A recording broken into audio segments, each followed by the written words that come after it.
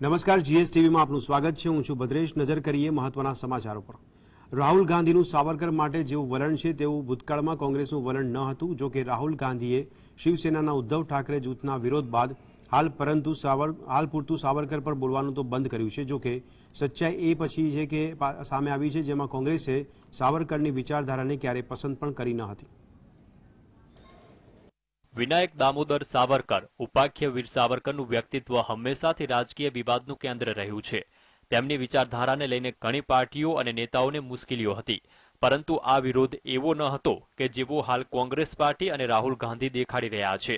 રાહુલ ગાંધીએ લંડનથી આવ્યા બાદની પ્રેસ કોન્ફરન્સ સુધી સાવરકરને અંગ્રેજોની માફી માંગનારા ગણાવ્યા હતા. પરંતુ કોંગ્રેસ પહેલા સાવરકરને લઈને આવું વલણ ધરાવતી ન હતી. હા, સાવરકરની વિચારધારાથી કોંગ્રેસ અસંમત રહી છે.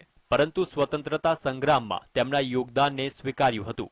આઝાદી પછી ઘણીવાર કોંગ્રેસે સાવરકરની મદદ પણ કરી હતી. એક અહેવાલ મુજબ, ઓગણીસો ચોસઠમાં સાવરકર બીમાર હતા, ત્યારે તત્કાલીન પીએમ લાલ બહાદુર શાસ્ત્રીએ કેન્દ્ર તરફથી તેમના ઇલાજ માટે ત્રણ હજાર ને નવસો રૂપિયાની મદદ જારી કરી હતી.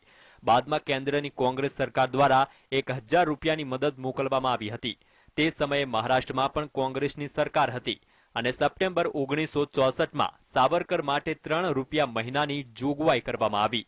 આ રકમ તેમને ફેબ્રુઆરી ઓગણીસો સાસઠમાં તેમના નિધન સુધી મળતી રહી.